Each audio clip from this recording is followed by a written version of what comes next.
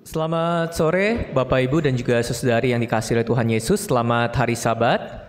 Good evening for dear brothers and sisters in Christ. Happy Sabbath day. Sungguh kita bersuka cita uh, bisa kembali berkumpul bersama-sama, terkhususnya bagi saya sudah tiga uh, minggu ini tidak berkhotbah di gereja Jakarta. We really are joyful to be able to gather here, especially for me who couldn't make it for three weeks to have a Sabbath day in Jakarta Church. Ya, karena dua minggu kemarin bertugas di Banjarmasin dan minggu kemarin kita mengadakan Family Day di 5G Resort. Because in the previous two weeks, uh, I went to Banjarmasin and last week we had a family day event. Ada salam dari Gereja Yesus Jati Banjarmasin kepada Bapak Ibu sekalian Gereja Jakarta. There is a greetings from Banjarmasin Church to dear brothers and sisters in Jakarta Church. Uh, mereka sedang membangun sebuah gedung yang sangat besar dan mungkin itu adalah salah satu gedung terbesar Gereja Yesus Jati di Indonesia. They are currently building a very big building and that may be the biggest building in True Jesus Church in Indonesia, Terutama aulanya, saudara. especially the church hall. Dan kita bersyukur itu biarlah itu menjadi satu uh, tempat untuk kegiatan gereja-gereja kita di Kalimantan. And we thank God for that and we hope that that place can be a place for the church activities in Kalimantan. Ya, sama seperti Jakarta, uh, gereja Jakarta adalah satu tempat di mana kita bisa mengadakan kegiatan sejabodetabek. Same with Jakarta Church where we can have the Jabotabek events in Jakarta Church. Ya, dan semoga Sunter dengan gedung pusat juga akan membangun sebuah gedung yang lebih besar lagi. And we hope uh, Sunter Church and also the GA will build a bigger building Uh, sehingga kita bisa mengadakan acara dengan kapasitas uh, di atas seribu, seribu orang, ribuan that- orang. so that we can hold an event with um, more than a thousand people in that event. Uh, saudara kita akan melanjutkan pemba- pembahasan dalam kitab Daniel. We will continue our study in the book of Daniel. Kita sudah membahas uh, dua uh, sesi sabat sore tentang bagaimana penawanan dunia. We have been discussed about uh, the two sessions in the last Sabbath about the world. Penawanan apa ya? Ya, waspada terhadap penawanan dunia. To be aware of the world captivity. Nah, di mana umat Tuhan bisa ditawan karena dia dalam hatinya ada berhala. Hatinya ditawan oleh berhala-berhala itu. where God's people can be captive by the gods. Dan umat Tuhan juga bisa ditawan hatinya karena dia tidak menguduskan hari sabat, dia sibuk dengan pengharapan di dalam dunia ini. And God's people also can be captive because they are too busy with the hope in this world. Dan juga hati kita juga bisa ditawan, saudara, ketika hati kita tidak mencintai kitab Allah, firman Tuhan. And our heart can also be captive when we don't love the words of God. Sehingga pemikiran-pemikiran dunia menawan di dalam hati kita. So that worldly thinking captive our heart. Dan itu sudah yang kita bahas dalam dua kali sabat. And we have discussed it in the last two Sabbats. Dan pada malam eh, pada sore hari ini kita akan melanjutkan satu pembahasan siasat penguasa kegelapan. And in this evening, we are going to talk about the strategy of the darkness ruler. Ya, di dalam nama Tuhan Yesus Kristus menyampaikan firman Tuhan. In the name of the Lord Jesus, deliver the sermon. Eh, kita buka bersama-sama dalam kitab Amsal pasal 20 ayat yang ke-18. We see it from Proverbs chapter 20, verse 18. Amsal pasal 20 ayat yang ke-18. Proverbs 20, verse 18. Demikianlah firman Tuhan. Rancangan terlaksana oleh pertimbangan, sebab itu berperanglah dengan siasat. Firman Tuhan memberitahukan berperanglah dengan siasat. The words of God tell us to be wise uh, to wage war. Iblis akan berperang dengan siasat, saudara. Satan will have a war with a strategy. Ya, dengan strategi-strategi iblis ini berusaha untuk bisa menjatuhkan umat Tuhan. With his strategies, he tried to make the people of God fall. Ketika kita juga menghadapi peperangan rohani, kita pun juga memerlukan strategi. When we face the spiritual battle, we also need a strategy. Di dalam kitab Daniel pasal yang pertama, In Daniel chapter 1, kita bisa mengetahui bahwa Yerusalem dikepung. we know that Jerusalem was taken captive, Ya, bagaimana gereja Tuhan pun dikepung. and how the church also captive. Di akhir zaman, saudara, apa yang terjadi dalam kota Yerusalem itu terjadi dalam Yerusalem sorgawi, yaitu gereja Tuhan. And in the end times, uh, the thing that will happen to Jerusalem is the spiritual Jerusalem, which is the church of God. Akhir zaman, iblis akan mengepung perkemahan tentara orang-orang kudus. In the end times, uh, Satan will captive the tent of the God's people. Sama seperti Nebukadnezar dengan pasukannya mengepung kota Yerusalem dan juga menaklukkannya. Same with the king Nebuchadnezzar besieged the Jerusalem and be victorious over it. Dan di akhir zaman, saudara, sesungguhnya iblis akan penuh dengan siasat untuk bisa mengepung dan menjatuhkan perkemahan tentara orang-orang kudus. And at the end times, the devil will have many strategies to make the people of God fall. Tujuan daripada siasat penguasa kegelapan ini apa, saudara? The purpose of this uh, strategy of the ruler of the darkness is what? Agar jemaat Tuhan tidak memperoleh keselamatan. So that the people of God cannot obtain the salvation. Agar banyak umat-umat Tuhan mereka gagal di dalam mempertahankan imannya dan akhirnya mereka meninggalkan Tuhan. So that the people of God will leave God because they cannot uh, save their faith. Kalau kita lihat bagaimana Hawa diperdaya oleh ular. If we see how Eve was mm, was deceived by the snake, Ya, kenapa iblis menggunakan ular untuk memperdaya Hawa? why Satan used snake to deceive Eve? Karena ular adalah binatang yang paling cerdik di antara binatang-binatang yang lain. Because snake is the smartest uh, animal other than others animal. Kita bisa mengetahui ini adalah siasat daripada penguasa kegelapan untuk bisa menjatuhkan Hawa pada saat itu. And this is the strategy of the ruler of the darkness to make Eve fall. Nah, bagaimana siasat penguasa kegelapan yang dapat kita pelajari dalam kitab Daniel pasal yang pertama ini? And how we learn from the strategy of the ruler of the darkness strategy in this book of Daniel. Ya, mari bersama-sama kita melihat dalam kitab Daniel pasal yang pertama. We're going to see from Daniel chapter 1. Daniel pasal yang pertama di ayat yang pertama. Daniel chapter 1 verse 1. Daniel pasal pertama ayat yang pertama, pada tahun yang ketiga pemerintahan Yoyakim raja Yehuda, datanglah Nebukadnezar raja Babel ke Yerusalem lalu mengepung kota itu. Nah, Saudara, di ayat yang pertama ini kita bisa melihat siasat yang pertama yang dilakukan oleh penguasa kegelapan adalah We can see from this verse the first strategy used by the ruler of the darkness was bagaimana bait Allah harus dihancurkan. how the temple of God must be destroyed. Yerusalem adalah kota kudus dan di dalamnya ada bait Allah.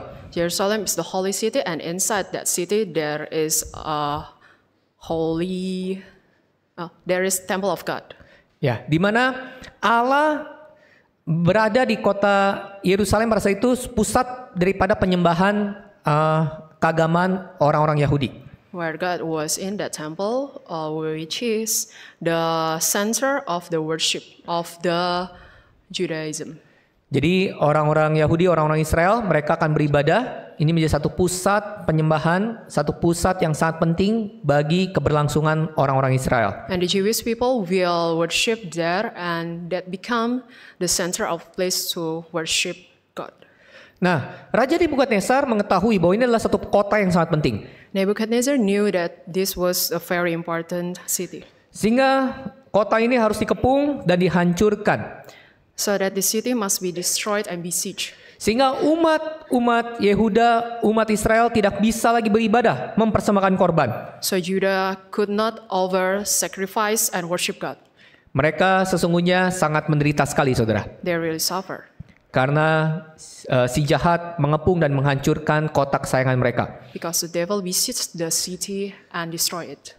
Saudara, kalau kita lihat dalam zaman Musa, If we see from Moses' time, ketika Firaun melarang umat Israel keluar dari Mesir, when Pharaoh prohibited the Israelites to go out from Egypt, Firaun melarang umat Israel keluar untuk bisa beribadah dan mempersembahkan korban.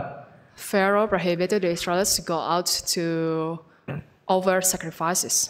Karena Firaun tidak mau umat Israel bisa keluar dari Mesir dan mereka bisa beribadah mempersembahkan korban kepada Allah mereka di padang gurun. Because Pharaoh didn't want that they could go out and be able to sacrifice the offerings and have a service. Kalau kita lihat dalam kitab Keluaran pasal 8, If we see from the Exodus chapter 8, Keluaran pasal 8 ayat 25, Exodus chapter 8 verse 25. eh, demikianlah firman Tuhan. Keluaran pasal 8 ayat 25, Lalu Firaun memanggil Musa dan Harun serta berkata, Pergilah persembahkanlah korban kepada Allahmu di negeri ini. Ya, Firaun berkata, kalian persembahkan korban jangan di luar Mesir, tapi di dalam Mesir saja. Pharaoh says for them to sacrifice to your God in this land, so inside the Egypt. Ya, saudara, kalau kita lihat inilah satu strategi daripada Firaun agar umat Israel uh, tidak pergi keluar untuk bisa beribadah dan mempersembahkan korban kepada Allah. So this was uh, one strategy of the pharaohs to prohibit the Israelites to be able to go out from Egypt to worship God. Ya, sama seperti kita kadang-kala saudara ya. Kalau mau ke gereja, ya ke gereja yang paling dekat saja. Ngapain jauh-jauh kita pergi ke gereja? Gereja yang dekat di mana pun kita bisa beribadah. If you want to go to the church, just go to whatever church nearest from your place.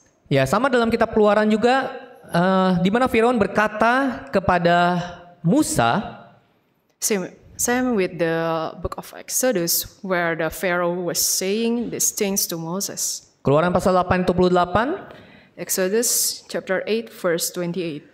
eh, Keluaran pasal 8 28, lalu kata Firaun, baik aku akan membiarkan kamu pergi untuk mempersembahkan korban kepada Tuhan Alamu di padang gurun, hanya janganlah kamu pergi terlalu jauh, berdoalah untuk aku. Ya saudara ya, boleh kalian pergi, tapi kalian jangan pergi terlalu jauh. So you could go out, but not go very far away. Nah, kalau kita lihat dalam kesempatan berikutnya, Firaun tetap melarang daripada Musa dan umat Israel untuk bisa pergi beribadah kepada Tuhan. In the next occasion, Pharaoh was still trying to prevent the Israelites to worship God. Kamu boleh pergi, tetapi anak-anakmu tidak boleh pergi. You can go out, but your children cannot. Ya, saudara, kadang-kala kita beribadah bisa seperti itu. Sometimes we also worship God in this manner. Kita eh, pergi, tetapi anak-anak kita tidak kita ajak ke gereja. We go uh, to the church, but we don't let our children also go. Kita menganggap bahwa anak-anak kita mungkin merepotkan, tidak perlu beribadah dan mempersembahkan korban kepada Allah. We think that our children are troublesome, so do not need to give offerings to God. Ya, lalu terakhir Firaun juga melarang daripada Musa dan umat Israel untuk bisa beribadah dengan tidak membawa korban persembahan. And also the last one is Pharaoh was also prohibited the Moses and also the Israelites to bring the sacrifices to offer to God. Nah, saudara, inilah sebuah peristiwa yang bisa menjadi sebuah pengajaran buat kita pada hari ini. And this is a lessons that we learn from this event. Bagaimana siasat daripada penguasa kegelapan? How the strategy used by the ruler of the darkness. Siasat daripada penguasa kegelapan adalah ingin agar umat Allah tidak bisa beribadah, tidak bisa memegang hukum Tuhan, memegang hari Sabat. The strategy used by the ruler of the darkness was for the people of God could not keep the Sabbath and could not go worship Him. Saudara, sebenarnya beribadah itu seperti apa? Actually, uh, what is worship? Ya, apa artinya kita beribadah kepada Tuhan? What is the meaning of we worship God?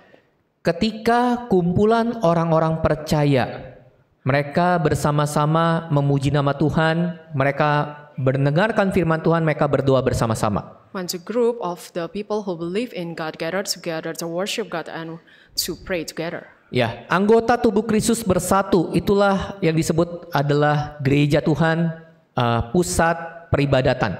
The member of the body of the Christ were gathered together to worship God, and that is worship. Ya. Uh, Bapak Ibu yang dikasih oleh Tuhan Yesus Kristus, kita mungkin mengalami dua hal uh, sejarah uh, yang terjadi dalam kehidupan iman kerohanian kita. Dear brothers and sisters, we may face two things in our journey of life. Ya, yang pertama adalah kerusuhan 98. The first one in, is the riots in 1998. Ya, kerusuhan 98 juga membuat sebagian besar uh, umat jemaat khususnya beberapa kota tidak bisa beribadah karena kerusuhan itu sangat menegangkan sekali. The riots in 1998 made uh, the churches and also the members of the church could not go worship God. Ya, lalu adalah pandemi di tahun 2020. And also pandemic in 1990. Uh, pandemi ini pun di Sorry, tahun 2020. 2020 uh, membuat kita mungkin hampir setengah tahun ya atau bahkan lebih kita sulit untuk bisa uh, beribadah secara tatap muka. The pandemic in 2020 made us very difficult to worship God face to face. Nah, saudara, dalam kehidupan iman kerohanian kita pada saat kita mengalami dua masa ini, Uh, in our faith, when we face these two things, ya, ada jemaat yang tetap bertahan, ada jemaat yang akhirnya juga tidak bisa mempertahankan imannya. there are members who still stand firm, but there are those who cannot keep their faith. Ya, ketika gereja dibuka, When the church was opened, banyak akhirnya yang kembali, tapi ada juga sebagian yang tidak kembali, saudara. many, many are come back, but many are also do not come back. Ya. Jadi kalau kita perhatikan saudara, setiap peristiwa yang terjadi dalam kehidupan kita sesungguhnya ada pekerjaan si jahat untuk bisa menghalangi umat untuk bisa beribadah kepada Allah. So in every event that happens in our life, there are also the things that the evil one did to prevent us to worship God. Ya, waktu 98 eh, kita saya waktu itu di Cianjur Bapak Ibu, gereja Cianjur itu depannya itu kaca semua. In 1998, I was in Cianjur Church, and the church in Cianjur have uh, glasses at Yeah. front. Tetapi pada tahun 98 itu karena kerusuhan dilempar batu sehingga kaca itu semua pecah. But uh, when the riots happened, then uh, the glasses were stoned and it's broken. Ya. Lalu tahun 2020 Saudara, kita beribadah secara online. And in 2020, we have online services. Ya, lalu juga akhirnya jemaat sadar bagaimana pentingnya membangun ibadah di dalam setiap keluarga. And the member realize how important it is to have uh, worship in every family. Saudara, coba kita renungkan kembali. Let us ponder. Apakah ini akan bisa terjadi lagi di kemudian hari? Can it be happen again in? Tentu saja ini akan bisa terjadi di masa yang akan datang. Of course, it can happen later. Di mana ketika eh, di masa yang akan datang, di akhir zaman, In the end time, bait Allah, aula gereja, ya, gereja secara fisik akan sangat sulit untuk mungkin kita bisa beribadah. the temple of God, the church hall, and also the place that we need to worship will be very hard for us to go. Ya, Bapak Ibu, mungkin hampir setahun kali Bapak Ibu ya untuk bisa mengadakan perjamuan kudus itu sangat sulit kita lakukan. Maybe almost one year that we have difficulties in having the Holy Communion Ya, karena kita tidak bisa berkumpul bersama-sama. because we cannot gather together. Nah, oleh sebab itu, sebelum itu akan terjadi kembali di kemudian hari, Bapak Ibu, That's why before it happens again, kita perlu bersama-sama mempersiapkan diri kita dengan sebaik-baiknya. we need to prepare ourselves well. Karena Tuhan uh, sering kali menubuatkan di dalam Alkitab bahwa akan ada masanya terjadi sebuah kelaparan rohani. Because God often prophesies that there will be famine spiritually. Akan ada masa yang sukar. There will be a hard time. Dan kelaparan ini bukanlah kelaparan secara jasmani, tapi kelaparan dalam jiwa kita, kerohanian kita. And this, this famine is not physically, but in our spiritually and in our soul. Sekarang ketika kita bisa beribadah dengan begitu sangat mudah, begitu sangat nyaman, When we are able to do the service in a very easy way, kita harus menggunakan kesempatan ini dengan sebaik-baiknya untuk bisa mempersiapkan iman kita. we must use this opportunity well to prepare our faith. Karena ada masanya maka si jahat akan berusaha agar umat Tuhan tidak bisa beribadah secara mudah. Because there will be time where the dev- where the devil will try to uh, make us so difficult to worship God. Eh, Bapak Ibu yang tersiam Tuhan, kalau kita perhatikan dalam kehidupan Daniel. Dear brothers and sisters, is- if we look at in another life, Daniel ini sangat sulit untuk bisa beribadah. Daniel was very hard in doing his service Karena Yerusalem telah dihancurkan, bait Allah telah dihancurkan sehingga Daniel ini akhirnya ditawan ke Babel. Because Jerusalem and the temple of God was destroyed and Daniel was captive to Babel. Ba- Babel. Tetapi kita lihat bagaimana iman Daniel. But we can see the fate of Daniel. Walaupun tidak ada bait Allah di Babel, Although there wasn't any temple of God in Babel, tetapi hatinya tetap tertuju kepada bait suci. but his heart uh, always focused to the holy temple. Hatinya tertuju kepada Allah, Saudara. His heart was focused to God. Apa buktinya? What was the proof?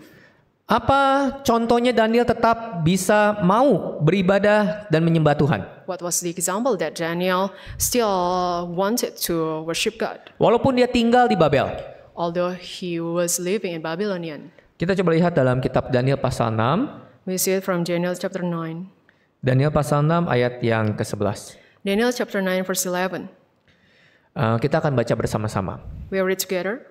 Daniel pasal 6 ayat yang ke-11. 1, 2, 3. Demi didengar Daniel bahwa surat perintah itu telah dibuat, pergilah ia ke rumahnya, dalam kamar atasnya ada tingkap-tingkap yang terbuka ke arah Yerusalem. Tiga kali sehari ia berlutut, berdoa, serta memuji Allahnya, seperti yang biasa dilakukannya. Hati Daniel itu tertuju kepada Yerusalem. Ya, di mana walaupun dia berada tubuh jiwa raganya di dalam Babel, Although his physical body was in Babylonian, tetapi hatinya tetap mau menyembah Tuhan. but his heart wanted to always worship God. Nah, pada hari ini kita yang hidup di zaman akhir, Today, we who lived in the end times, kita mempersiapkan diri kita dengan sebaik-baiknya. Ketika ada masa yang sukar, kita siap menghadapinya. we prepare ourselves well so that when the difficult time happens, we already able to face it. Sehingga pada saat mungkin kita akan sulit beribadah bersama-sama, So when we are having difficulties to have service together, kita tetap bisa membangun satu pusat peribadahan di dalam keluarga kita. we are still able to have a worship in our own family. Mungkin ada masanya kita akan sangat sulit untuk bisa memegang sakramen perjamuan kudus. Maybe there will be a time when it's very hard for us to have a Holy Communion. Uh, kita bisa juga belajar untuk bisa mengadakan tetap setia, mengadakan sakramen perjamuan kudus dalam setiap komunitas-komunitas yang lebih kecil. We may be able to still have the Holy Communion in our smaller groups. Uh, Bapak Ibu yang tersiam Tuhan, kalau kita lihat gereja kita di China, Dear brothers and sisters, if we see our church in China, uh, gereja di China itu, gereja kita terutama di daerah selatan itu disadap oleh pemerintah, Bapak Ibu. uh, our church in China in the south area was spied by the government. Sehingga kalau kita menghubungi gereja di China, kita menghubungi via telepon dan email bukan ofisial di gereja tapi menghubungi kepada jemaat atau pengurus. So when we need to communicate with the church there, that we need to communicate with the ex-committee members, not Mereka- directly to the church. Mereka tidak bisa mengadakan acara wilayah selatan. Kita berkumpul bersama-sama mengadakan KKR retreat. Mereka nggak bisa mengadakan seperti itu. They cannot have an event in the south area to have a retreat. Apalagi secara nasional gitu ya. Wilayah saja ya bisa. Uh, and they also cannot have the national event. Ya, bahkan untuk bisa mengadakan eh, pendidikan agama, mereka menggunakan berbagai cara supaya pendidikan agama itu bisa berjalan dengan baik. And also for the RE, uh, religious education, they need to have a strategy to do it well. Sehingga mereka tidak bisa yang namanya bina iman, KAD, KL, Bapak Ibu ya, kursus teologi singkat. So they cannot have the students theolo and also the short-term theolo course. Apa yang mereka lakukan? And what were they doing? Mereka mengumpulkan orang tua-orang tua jemaat. They gather the parents. Orang tua jemaat itu jadikan guru agama di dalam keluarga masing-masing. The parents become the RE teacher in their own family, Sehingga pendidikan agama bisa tetap berjalan. so that the RE class still can be conducted. Ya, sehingga eh, pelajaran agama pun bisa tetap berjalan di setiap keluarga. So the adolescents still be conducted in their own family. Bisa kita bayangkan ketika kita tinggal di sana. Can we imagine if we live there? Ya, bukan perkara mudah uh, untuk bisa beribadah kepada Tuhan. It's not an easy thing to be able to worship God. Kalau kita lihat Myanmar, Bapak Ibu. Myanmar. If we see Myanmar, Myanmar keadaan politiknya tidak stabil. the political situation was not stable. Sehingga para hamba Tuhan di- untuk ditugaskan ke sana pun untuk sementara dipending terlebih dahulu. So that the servants of God uh, that are sent there need to be delayed first. Mereka bagaimana untuk bisa beribadah? Then how they conduct the service. Pada saat terjadi sebuah kudeta, Bapak Ibu, kudeta politik, When there was a betrayed in the political situation, ya jaringan internet diputus, the internet connection was stopped. uh, mereka juga sulit untuk bisa beribadah. They they having difficulties in having service. Semuanya uh, diawasi, semuanya tidak punya uh, jalur komunikasi untuk bisa beribadah bersama-sama. Everything was being watched, and they could not have a communication line for one another.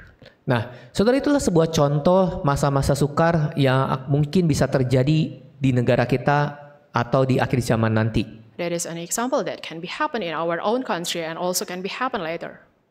Nah, oleh sebab itu, marilah pada hari ini uh, kita tetap bergiat dalam pertemuan-pertemuan ibadah kita. So let us be diligent in our service. Sampai kapan? Till when? Sampai kedatangan Tuhan yang kedua kalinya. Till the second coming of the Lord Jesus Christ. Ya, kita lihat bagian yang kedua, Bapak Ibu. We see the second part.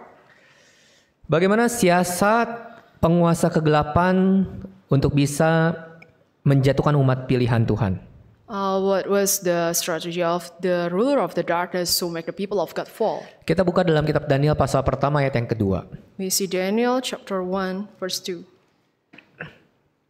Daniel pasal pertama ayat yang kedua. Daniel chapter 1, verse 2. Tuhan menyerahkan Yoyakim, Raja Yehuda, dan sebagian dari perkakas-perkakas di rumah Allah ke dalam tangannya. Semuanya itu dibawa ke tanah Sinear, ke dalam rumah dewanya. Perkakas-perkakas itu dibawanya ke dalam perbendaharaan dewanya. Nah, perkakas bait Allah dibawa oleh Raja Nebukadnezar. The articles of the house of God was brought to the King Nebuchadnezzar. Dibawa ke mana ini? Dibawa ke mana? Brought to where? Ke tanah Sinear. To the land of Si- Shinar.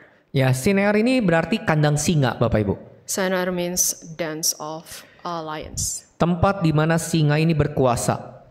Where the lion reigns. Ya, dunia digambarkan seperti Sinear.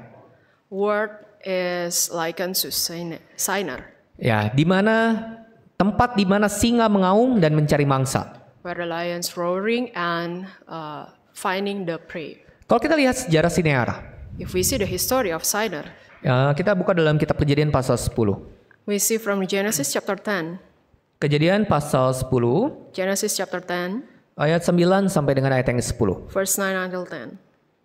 Kejadian pasal 10 ayat 9 sampai dengan ayat yang ke-10 kita baca bersama-sama. We read together. Kejadian pasal 10 ayat 9 sampai 10. Ia seorang pemburu yang gagah perkasa di hadapan Tuhan. Sebab itu dikatakan orang seperti Nimrod, seorang pemburu yang gagah perkasa di hadapan Tuhan. 10. Mula-mula kerajaannya terdiri dari Babel, Erek, dan Akad, semuanya di tanah Sinear. Sejarah Sinear, kita bisa mengetahui bahwa Nimrod membangun Babel di tanah Sinear. We see from here the history of Shinar that Nimrod built it. Eh, ia membangun menara Babel, He built the Tower of Babel, ya kerajaan Babel, the kingdom of Babylonian, untuk bisa melawan perintah Allah. to be able to fight against the words of God. Ya, jadi kalau kita lihat Sinear ini punya satu sejarah di mana mereka memberontak, mereka melawan perintah Allah. If we see it from here, Shinar has a history to be a disobeyed one. Ya, dunia adalah orang-orang yang menentang Allah. World is the people who gains God, Bagaikan tanah Sinear ini. likened to this land of Shinar. Ya, orang-orang dunia yang membenci umat pilihan.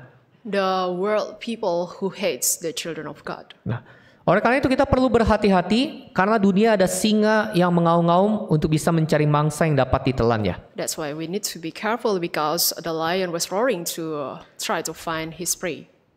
Kita lihat lagi dalam kitab Daniel, Saudara. We back to Daniel, Daniel pasal 1 Daniel chapter 1, ayat 3 sampai dengan ayat yang ke-7.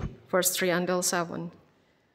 Daniel pasal 1 ayat 3 sampai dengan ayat yang ke-7. Daniel chapter 1, verse 3 until 7. Kita akan baca bersama-sama. We read together. Daniel pasal 1 ayat yang ketiga. Lalu raja bertitah kepada Aspenas, kepala istananya, untuk membawa beberapa orang Israel yang berasal dari keturunan raja dan dari kaum bangsawan, yakni orang-orang muda yang tidak ada sesuatu celak, yang berperawakan baik, yang memahami berbagai-bagai hikmat, pengetahuan banyak, dan mempunyai pengertian tentang ilmu, yakni orang-orang yang cakap untuk bekerja dalam istana raja, supaya mereka diajarkan tulisan dan bahasa orang Kasdim. 5. Dan raja menetapkan bagi mereka pelabur setiap hari dari santapan raja dan dari anggur yang biasa diminumnya. Mereka harus dididik selama tiga tahun dan setelah itu mereka harus bekerja pada raja. 6. Di antara mereka itu ada juga beberapa orang Yehuda, yakni Daniel, Hananya, Misael, dan Asaria. 7. Pemimpin pegawai istana itu memberi nama lain kepada mereka. Daniel dinamainya Belsasar, Hananya dinamainya Sadrak, Misael dinamainya Mesak, dan Asaria dinamainya Abednego.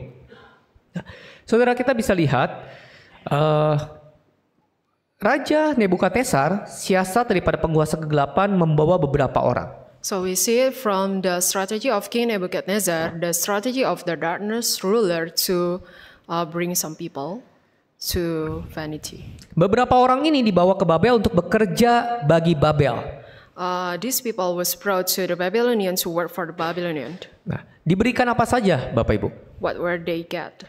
Nah, kalau kita lihat, saudara, uh, yang pertama mereka diberikan fasilitas, They got facilities, uh, pendidikan, education, makanan, food, dan minuman raja. and drinks of the kings. Bahkan mereka tinggal di istana raja.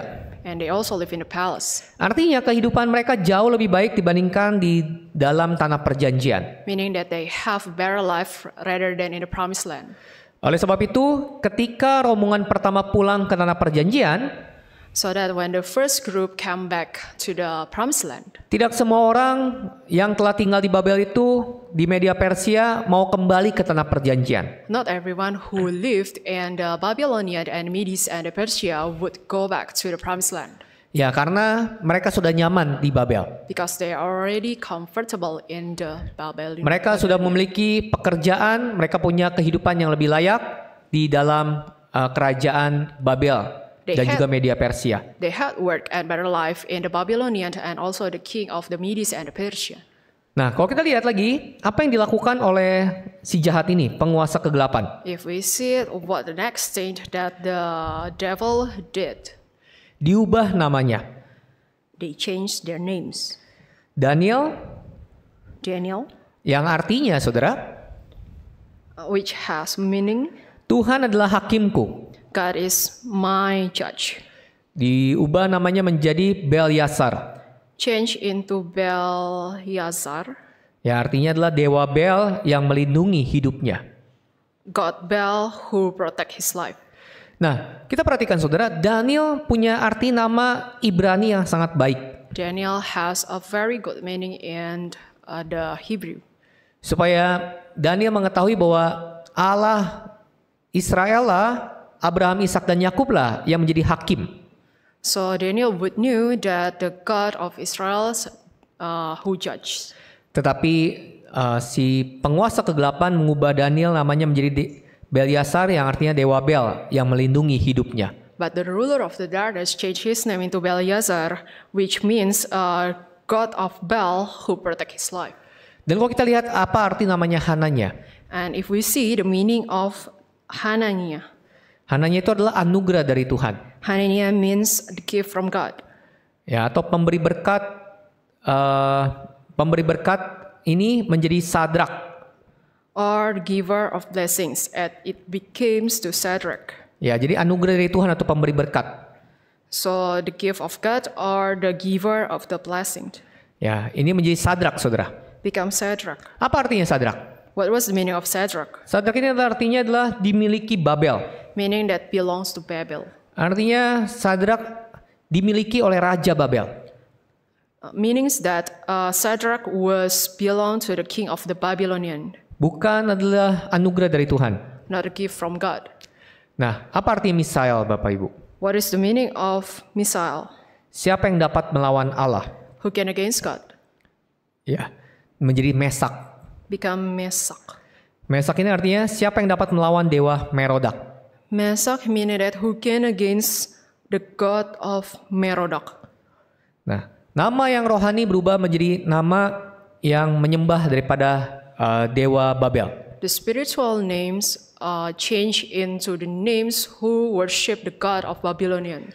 Kalau kita lihat Asaria, If we see the Azariah, Asaria ini artinya Tuhan membantu meaning that God helps, ya menjadi Abednego. become Abednego. Apa artinya Abednego? What was the meaning of Abednego? Pelayan Nego. The servant of Nego. Ya, Nego ini adalah hamba Tuhan Babel. Nego is the servant of God of Babylonian. Ya, jadi dia adalah pelayan Nego, hamba Tuhan Babel. So he was the servant of Nego, the servant of the God of Babylonian. Nah, Bapak Ibu dan Tuhan, saudari yang dikasihi, kita bisa melihat inilah sebuah strategi asimilasi. Dear brothers and sisters, we can see it as a strategy of assimilation. Supaya mereka melupakan status mereka sebagai umat Allah. So they forget their status as the people of God. Supaya mereka tidak lagi rindu kembali ke tanah perjanjian. So they want uh, longing to go back to the promised land. Ya, supaya mereka tidak lagi memikirkan tentang Yerusalem sorgawi. So they're wanting again about the spiritual Jerusalem. Ya, supaya mereka tidak lagi bisa uh, memikirkan untuk bisa beribadah kepada Allah. So they wanting to go back worship God. Nah, pada hari ini saudara kita tinggal di dalam dunia di tanah Sinear. Today we live in this world in the land of Sinai.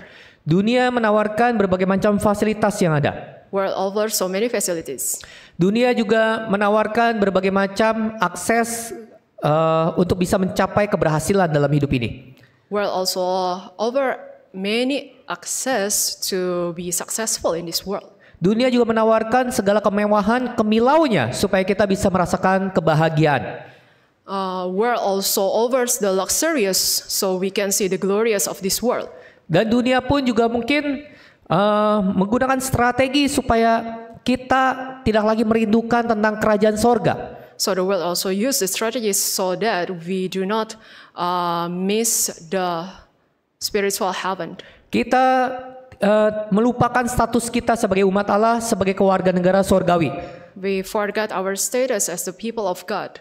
Ya, tetapi kita lebih berfokus kepada kehidupan secara lahiria, secara jasmani di dalam dunia ini. And we just focus in our physical life in this world.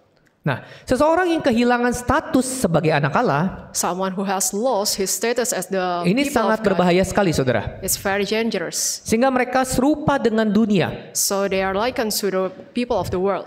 Mereka lupa dengan status mereka, dengan keluarga negara mereka. They forget their status and their citizenship. Eh, saya akan memberikan sebuah kisah analogi ini, saudara. I will give an analogy. Ya, ada telur dari burung raja wali. There was an egg from eagle, Eh, telur itu akhirnya masuk ke dalam sarang telur anak ayam. and that egg entered into the nest of chicken. Lalu anak raja wali ini telurnya akhirnya menetas. And this eagle's egg was hatching Menetas bersama dengan anak ayam. along with the eggs of chickens. Saudara, anak raja wali dengan anak ayam mereka bertumbuh bersama-sama. And then eagle's kids and the chicken's kids were all growing up together. Ya. Lalu anak ayam, ya emang ayam, dia hanya bisa mengepakkan sayapnya, dia makan di daratan. And then the chicks can only spread uh, his wings and only eat foods in land. Ya, anak ayam tidak mungkin bisa terbang. Chicks cannot fly. Ya, walaupun dia hanya bisa terbang-terbang kecil ya Bapak Ibu. Also, he could only fly a little. Nah, sedangkan anak Raja Wali ini saudara, karena dia tinggal bersama-sama dengan anak-anak ayam, bertumbuh bersama-sama dengan anak ayam, dia bersikap seperti anak ayam. But the eagle's child, uh, which grew up together with the chicks, behave like the chicks. Ya, ketika dia lihat se- eh, seekor burung Raja Wali yang terbang tinggi di atas langit, So when he saw the big eagle was flying up high in sky, ya, dia berpikir bahwa saya tidak akan mungkin bisa terbang seperti itu karena saya adalah anak ayam. He thinks that I cannot do it because I'm chicks. Ya, anak ayam tidak mungkin bisa terbang seperti itu. Chicks cannot fly like that. Nah, saudara, kita ini anak ayam atau anak Raja Wali? And dear brothers and sisters, are we eagle childs or the chicks? Kalau kita adalah anak Allah, If we are the children of God, kita tidak akan mungkin bersikap seperti anak ayam bagaikan anak-anak dunia. we may not behave like the chicks, like the people of the world.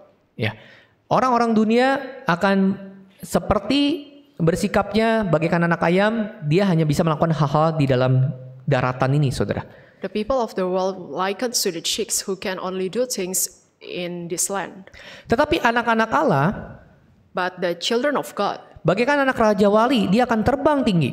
like unto the eagle's child who can fly up high Ya, dia akan melebihi daripada anak ayam. and can surpasses the chicks. Ya, oleh sebab itu pada hari ini, saudara, So that dear brothers and sisters, kita harus mengingatkan diri kita kembali siapa jati diri kita sebenarnya. we must remind ourselves who, uh, who, uh, the identity of us. Ketika kita telah menerima Tuhan Yesus, kita telah dibaptis dan menerima Roh Kudus. When we receive God and we have received the Holy Spirit, Kita adalah anak Tuhan, kita adalah keluarga negara sorgawi. we are the children of God and also the citizenship of the heavenly kingdom. Ya, seperti dalam kitab 1 Petrus pasal 2 Like what's written in the First Peter chapter 2, ayat yang ke-9. 1 verse 9. Petrus pasal 2 ayat yang ke-9. First Peter chapter 2, verse 9. Tetapi kamulah bangsa yang terpilih, imamat yang rajani, bangsa yang kudus, umat kepunyaan Allah sendiri. Supaya kamu memberitakan perbuatan-perbuatan yang besar dari dia yang telah memanggil kamu keluar dari kegelapan kepada terangnya yang ajaib. Ya, Kita adalah imam-imam Allah, kita adalah uh, raja. We are the priesthood and also we are king. Ya, kita pernah membahas, saudara ya, bahwa kita adalah raja-raja dari timur.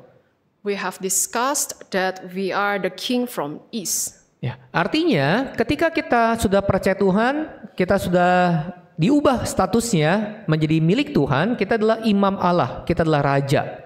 Meaning that when we have already believed in God, our status has been changed to be uh, belongs to God. Ketika kita mengetahui status kita, kita pun akan bersikap seperti status yang kita miliki. When we have our new status, then we must behave like our new status. Ya, kalau kita adalah anak raja wali, kita adalah burung raja wali, kita akan bersikap seperti burung raja wali. If we are eagle a kid, then we must behave like the eagle kid. Ya, tetapi sangat disayangkan sekali kadangkala umat Tuhan walaupun dia adalah anak raja wali, tapi dia masih berpikir dia adalah anak ayam. But unfortunately, although the people of God must behave like the eagle's uh, child, they behave like chicks. Nah, bagaimana kita sebagai anak-anak Allah, saudara? How about we as the children of God? Nah, kita perlu memikirkan perkara yang di atas. We must think the, the matters on above. Ya, kita lihat dalam kitab Kolose pasal yang ketiga. We see Colossians chapter 3. Kolose pasal yang ketiga ayat 1 sampai dengan ayat yang kedua. Colossians chapter 3, verse 1 till 2. Kolose pasal 3 ayat 1 sampai 2. Colossians chapter 3, verse 1 until 2. Karena itu, kalau kamu dibangkitkan bersama dengan Kristus, carilah perkara yang di atas, di mana Kristus ada duduk di sebelah kanan Allah. Dua, pikirkanlah perkara yang di atas, bukan yang di bumi. Nah, saudara, kalau kita sudah dibangkitkan bersama dengan Kristus, carilah perkara yang di atas. So, dear brothers and sisters, if we were raised with Christ, seek those things which are above.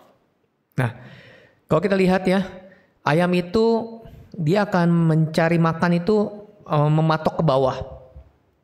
If we see the chicks, they will find the food by di tanah gitu ya, di bawah. By pegging the land. Ya, tetapi Raja Wali berbeda, saudara. But it's different with the eagle's gate. Ya, Raja Wali dia akan memiliki tempat yang tinggi di tebing. Uh, the eagles will have a place in the high cliff Ya, dia akan mengarahkan matanya itu ke atas, saudara. and will direct his eyes uh, above. Nah, orang dunia akan menghabiskan semua waktunya untuk bisa mengumpulkan harta di dunia. The people of the world will use their time to gather the wealth in this world. Tetapi orang-orang eh, yaitu anak-anak Allah, mereka akan mengumpulkan harta di sorga. But the children of God will gather the treasures in heaven Karena dia memikirkan perkara yang di atas. because he thinks the matters above. Dia melihat satu kehidupan yang lebih kekal dibandingkan kehidupan yang sementara di dalam dunia. He sees the eternal he sees the eternal life rather than the temporary life in this world. Nah, kalau kita lihat lagi, saudara, we see it again, eh, bagaimana kita sebagai status anak-anak Allah? how about the status of us as the children of God? Kita buka dalam kitab Roma pasal 12. We see Romans chapter 12. Roma pasal 12 ayat yang kedua. Romans chapter 12 verse 2. Roma pasal 12 ayat yang kedua. Romans 12 verse 2. Janganlah kamu menjadi serupa dengan dunia ini, tetapi berubahlah oleh pembaharuan budimu, sehingga kamu dapat membedakan manakah kehendak Allah, apa yang baik, yang berkenan kepada Allah, dan yang sempurna. Nah, yang kedua adalah bagaimana kita bisa menjaga diri kita agar tidak serupa dengan dunia ini. The second thing, how we can uh, stand firm as the children of God in this world. Karena dia tahu statusnya. Because he knew the status. Ya, sebagai anak Allah harus berbeda dengan orang-orang dunia. As the children of God must be different from the children of this world. Ya, ketika orang-orang dunia mereka tidak memegang hari Sabat, saya harus memegang hari Sabat. When the people of the world don't keep the Sabbath, I must keep the Sabbath. Ketika orang-orang dunia menghalalkan berbagai cara untuk bisa mendapatkan keuntungan, saya sebagai anak-anak Allah menggunakan cara yang benar sesuai dengan firman Tuhan. When the people of this world use many things, even the dirty ones, to attain what they wanted to get, but the children of God must use the good way to obtain that things. Ketika orang-orang dunia menganggap kekudusan itu suatu hal yang tidak perlu dijaga, When the people of this world thinking that the holiness is not something that they need to keep, tetapi sebagai anak-anak Allah, kita menganggap bahwa kekudusan itu adalah suatu hal yang sangat penting untuk bisa mendapatkan keselamatan. but as the children of God, we know that the holiness is an important thing that we need to keep to get the salvation. Ya, ke- dengan kekudusan saya bisa melihat Allah. With holiness, we can see God. Nah, saudara, inilah sebuah perbedaan yang seharusnya ada kalau kita mengetahui bahwa kita adalah statusnya anak Allah. This is the difference that uh, always been there if we know the difference of our status. Nah, kita lihat bagaimana Daniel dan ketiga sahabatnya mereka tetap bisa menjaga status itu dengan baik. We see how Daniel and his three friends can keep their status well. Walaupun penguasa kegelapan mengubah nama mereka, Although the ruler of the darkness changed their names, walaupun penguasa kegelapan memberikan berbagai macam fasilitas kepada mereka, although the ruler of the darkness gives them so many facilities for them, tetapi mereka mengetahui bahwa di manakah seharusnya mereka berdiri. but they know where should they stand. Mereka berdiri di hadapan Tuhan. They stand in front of God.